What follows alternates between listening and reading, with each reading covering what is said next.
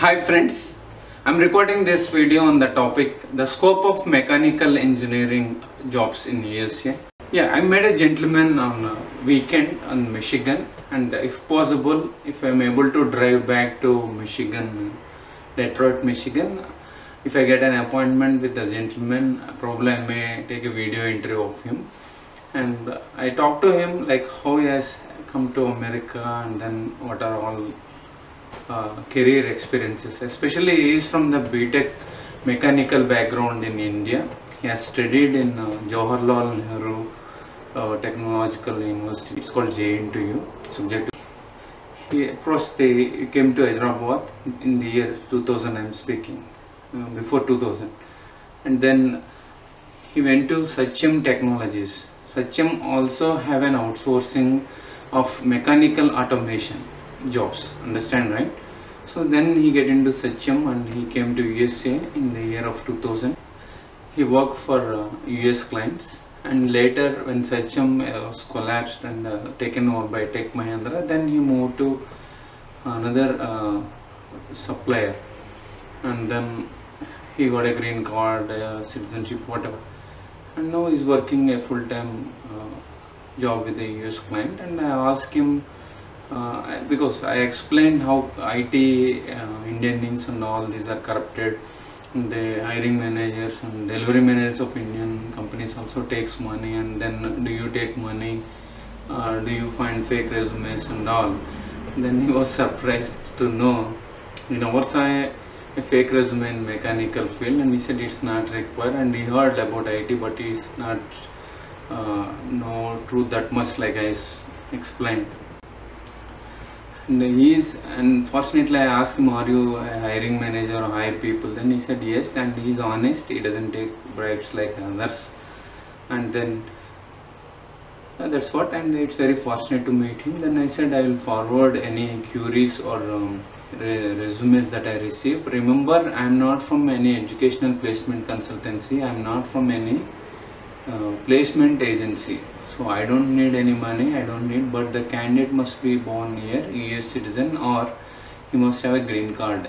Because the us clients doesn't do don't do this uh, h1b sponsorship for mechanical especially engineers of course they never do or subject question they may not do.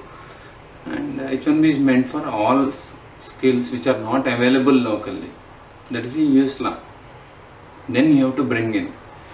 Uh, that is is very clear man that's what. And then when it comes to um, forward of questions or whatever then he must be a citizen or a green card holder. Then he can take interview. That's what he told. And then uh, in case if they need sponsorship h1b like for example masters mechanical or somebody studying btech mechanical in india will have an insight oh this is how somebody went and all that. That's the purpose i'm recording it not for any other reasons. And ms mechanical. Then you can approach suppliers. They are not from indian inks. They are different from the indian inks. Suppliers will do the h1b sponsorship and then they will put you. And uh, especially in michigan uh, area only they have from this automobile mechanical industrial area right?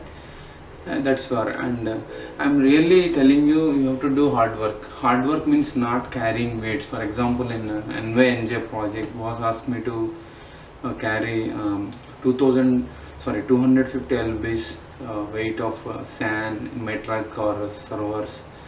And then i went to world trade centers jfk airports and all.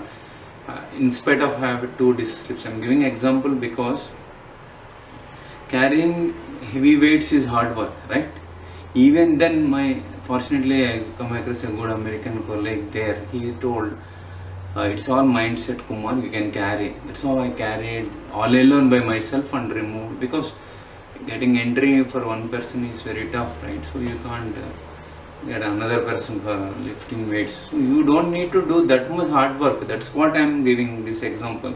All you need to do is sit in front of laptop explore identify says continues and you don't need to send resume to everybody and beg for a job or uh, somebody many guys they say i will give money. You don't need to give money. If you're giving money means you are you, you are worthless. Somebody is taking money means to give you a job means is double worthless. Both are thieves according to me and USCS don't give money. Study search online. Like I met this gentleman right? I will get his video interview if possible. I will ask more questions. So you can also send me the questions. I will forward it to him. And that's all that's it. I wish you good luck. I hope this video is very informative to you. I wish you good luck those who are having BTech mechanical branch anywhere either here or India or anywhere outside America.